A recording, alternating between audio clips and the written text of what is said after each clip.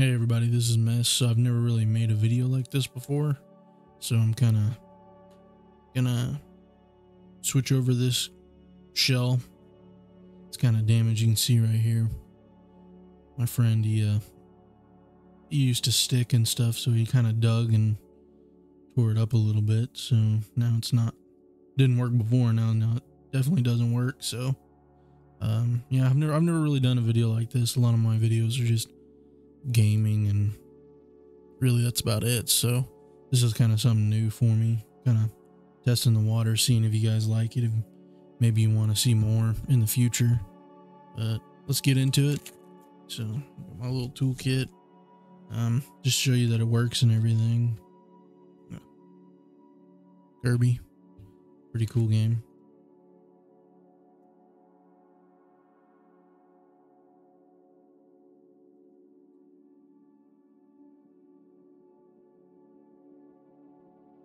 I mean, it works. You just don't have an R button.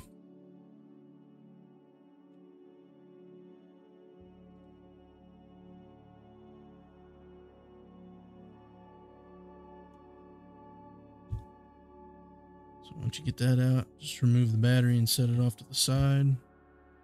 And then you got some Y-wing screws in here, here, here, and here. I think that's just a regular Phillips screw.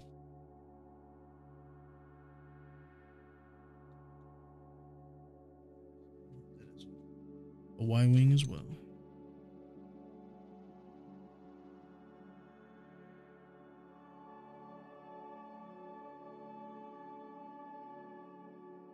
Let's see, this one.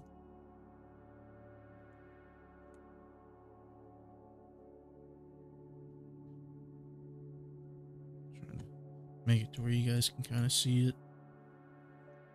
Never really done any of this before, so it's kind of a new setup. You want to get all these removed.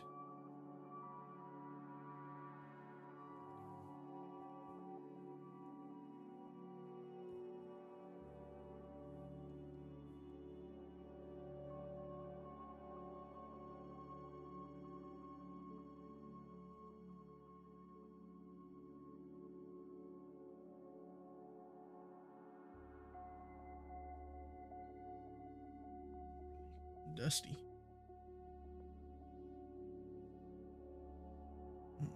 Guys can see that, but it's bright.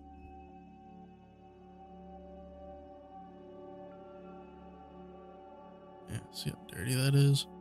Pretty funky. And you just pop it off. Bam. That's done. You got a couple Phillips spots Let's see, you got one, two, and three. You got three of them in there, and you take the motherboard out.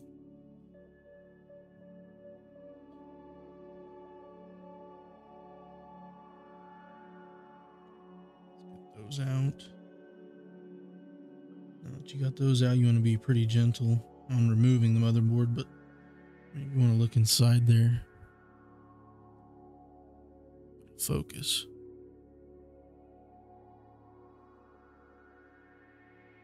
See how dirty all that is. So I'm gonna give the motherboard a good wipe and clean. Once I get all this done. You want to open it. Be very careful. There's a couple tabs on here that you're gonna want to remove or pop. But you want to be gentle. You don't rip the ribbon. And you just pop it out set this off to the side. There's all the little buttons stuck to it. So over here. May or may not reuse them. I'm not 100% sure. I got the little shell kit. Comes with kind of everything.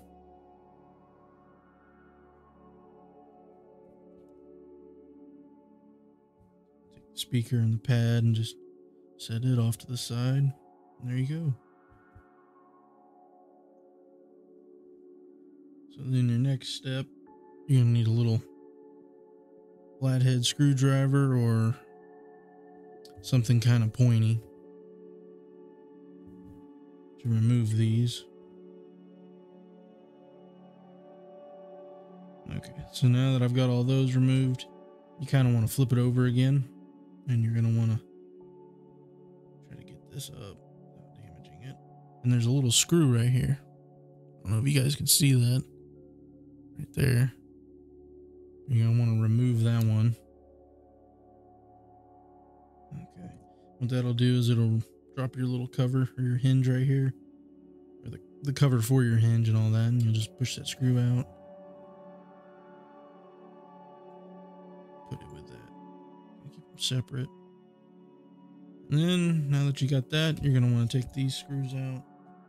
And they are uh, head screws as well. Because you don't want to mix up some of these screws because some may be longer than the others and they'll kind of go through and puncture the shell from what I've heard. And then I've got that, just kind of separate it. Oh, I think I missed one. I did miss one. There was another one. Uh, make sure you get that screw out. Put it with the others. And now it should come apart pretty easily.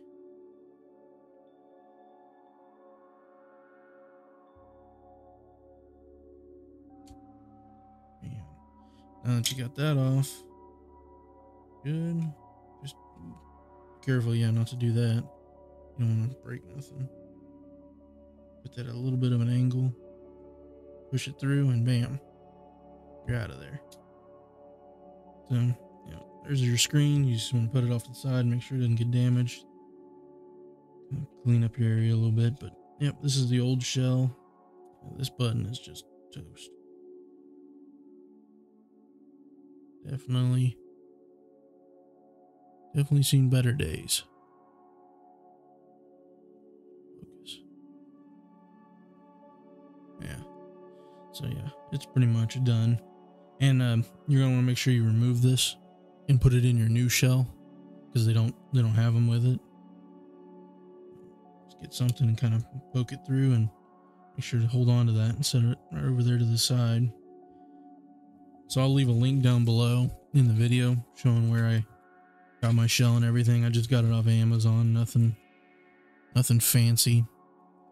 It was pretty, pretty decent price. I think it was like 15, 20 bucks. Comes with a couple screwdrivers. I've heard they're not very, not very good quality. So an extra set you can just kind of have. It's got a new little cover. It's pretty cool. You just peel this and it just sticks to it. Not 100% sure. Didn't really have instructions or anything, so it's just kind of as I go. So far, it's the new shell. I mean, clean, nice. You got all your extra stuff in here. So you got a new hinge hinge cover, some hinges, the badge. Looks like those little pad things, And all new screws. So that's pretty cool. So I'm probably, I'm probably just gonna leave this on, and just keep this as a spare, and just kind of clean this one up because it's really, it's not that bad. It's got a few scratches, but I don't want to risk the chance of damaging the screen because, like I said, I've never done this before. Some isopropyl alcohol to kind of clean your screen and you know the motherboard and everything. You want to get it all nice and clean before you put it back together. So let me know down in the comments what your favorite uh like game boy is. Game boy color classic pocket sp advanced i'm just kind of curious me i never uh, i i never had one of these when i was a kid growing up i had a I think my first one was a DS Lite. It was pretty cool. I'll set this aside for a second because I kind of want to look at the motherboard. It is pretty nasty.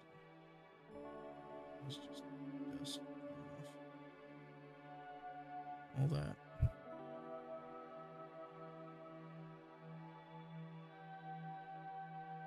I'll definitely need a a little bit of a scrubbing. Clean around your button pads.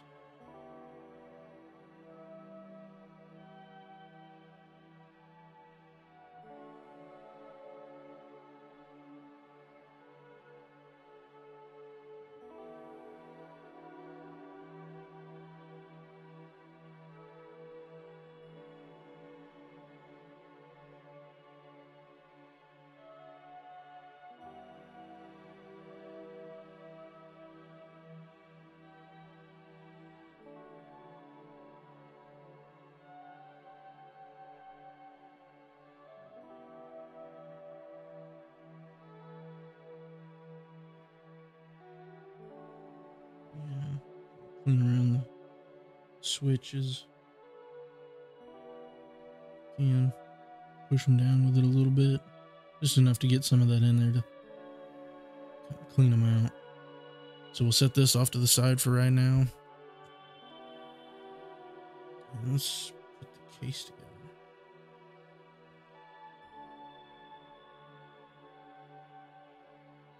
This in.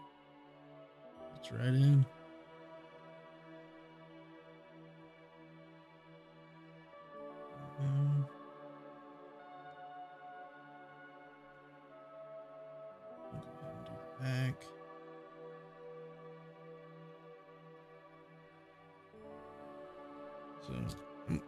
I don't know if I'm going to use the new screws because a lot of these original screws, just from what I've heard and seen in other videos, just work better than the cheap aftermarket screws they send with it. So I'm going to try to use all the originals and just what you're going to want to do now. Try to get this at an angle.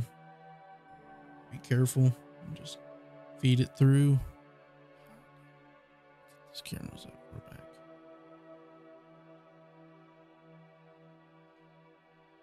You know, feed it through and just kind of be careful and try not to damage it any. Just take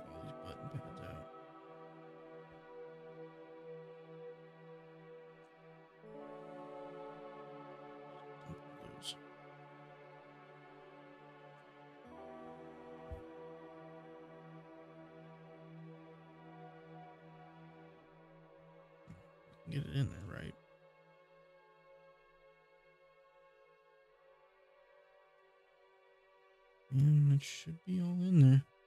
Now, oh, okay. Maybe I'm just an idiot. kind of just went right in there. Okay, so you just have to have the shell open more, I guess.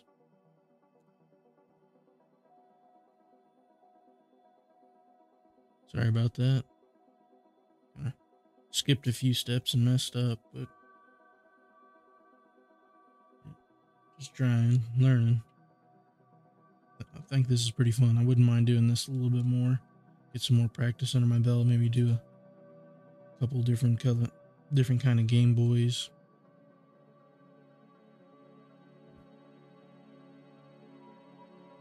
At least put one screw back in to hold that. Cables fed through. That's all good. Feels about the same. Me compare it to the actual button. That's the aftermarket one, and this is the OEM one. Um, and really, they feel the same. So, but I think I'm gonna go ahead and use the new ones just because. You know, put all this time into putting a new shell and everything. Might as well put some new ones in.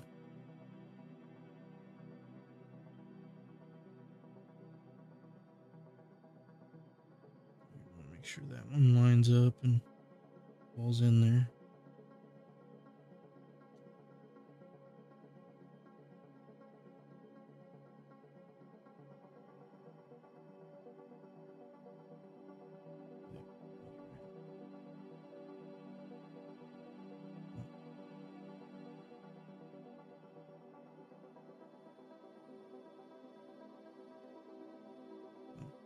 They'll fall into place when they're right. Just so you kind of know. That way you don't have to worry about, you know, mixing up the buttons and then flipping it over and being like, you know, surprised. So go ahead and put the new pads down.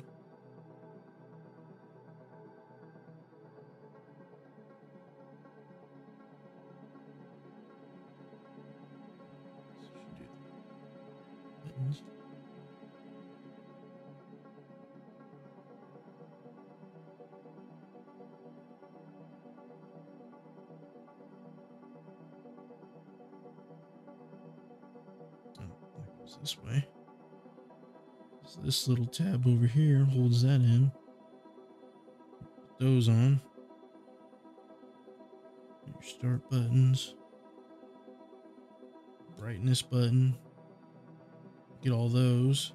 And then now for your speaker, here, put all that in just like that. It's pretty much all that really.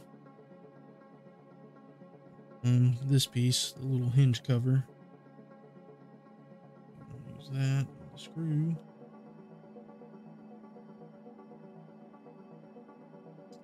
Probably should have waited on these until I put that in. Now that I think about it.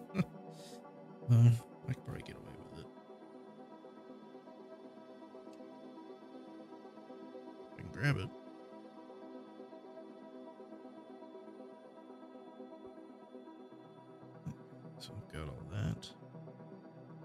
That back. You put your screw in there. There it is. Okay.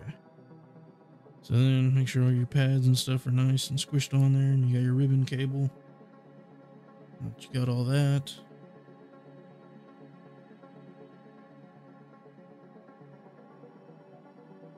Take this. Reconnect it. Be gentle. Don't want to rip the ribbon cable because then you're pretty much screwed.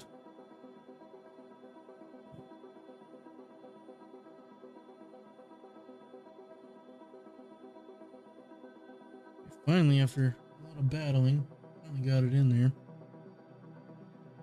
And then I knocked all this other shit out. I Kind of put it, put it all back in. So do the easy one, the speaker.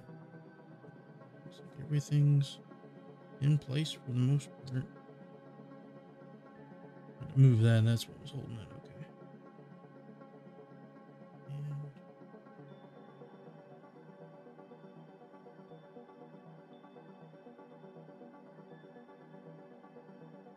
And So that moves freely. Volume button moves freely. Everything's level. Checking. Looks like all the buttons work. Everything looks good. So we kind of got that. Let's see, these are on the top screen. These are going to be your motherboard screens. Motherboard.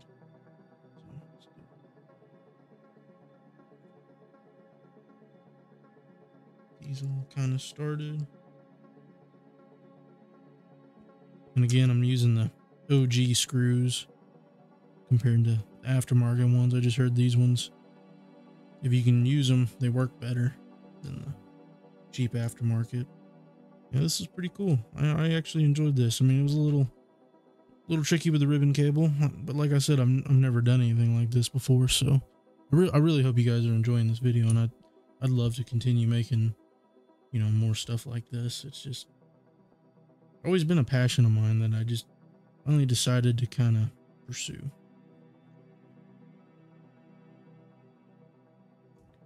All right, so those are all in. Yeah, I mean, it's it's coming along pretty well. I'm gonna set this off to the side for right now, and I'm gonna look at the back of it. Try not to mess with the triggers too much. But you're definitely gonna want to take this piece, the little sticker, but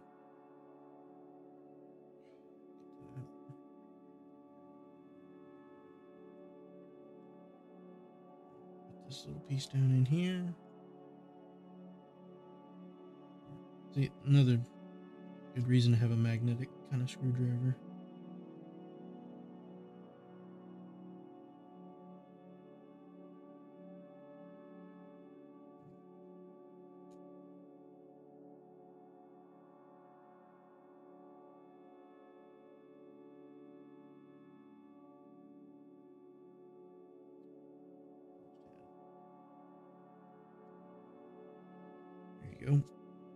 Now that you got that in there, when you go to screw it in, it'll actually hold your battery cover on. let me know if you're enjoying the video. You know, leave a like, comment, subscribe. I'd appreciate it. And we'll go in together for the most part. So that works. Trigger buttons work. This one slides. You can see it. Sorry if my hands aren't really in a good spot on the video. Still trying to get used to this different style of filming than what I'm used to. So we'll go ahead and start with like the little smaller, smaller screws.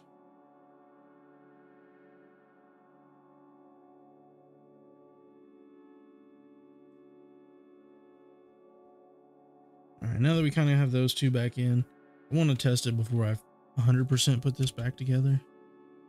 Just because just want to see how it is.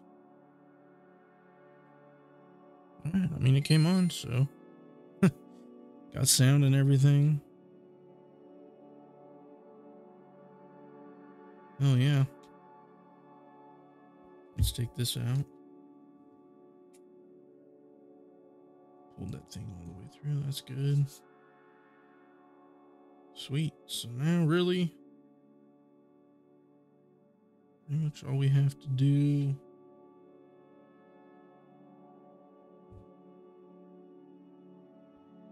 These little pad things on. Nice. I mean, it's it definitely sounds different. It doesn't make the little clicky noise. Or actually, I don't think that one did either. But you know what I mean? It, it's it's obviously you can feel the difference. It's just cheap e aftermarket case, but it's actually really not that bad. Kind of seen worse. But now, finish it off. A little Nintendo sticker.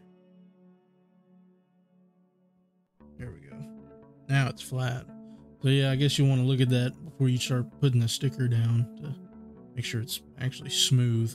There's a little piece of plastic from the molding just bubbled up right here, so it made it a little hard. Uh, let's say that's everything. Everything clicks and slides and powers on.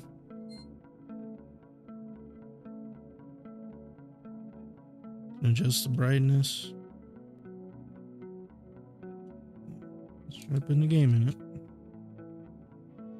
Kirby Dream Dreamland. It's, it's actually a pretty fun game. I've I've never played it before until just recently.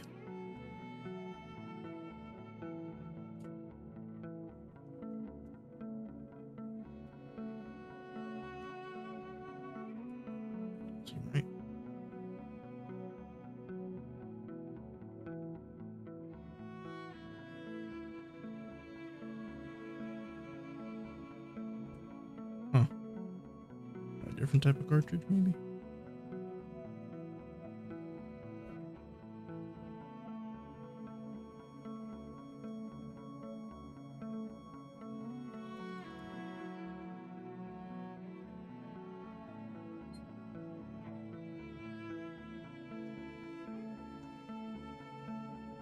I think it was just the power button was being goofy. Hmm, not too sure on that. The power button was being weird for a minute.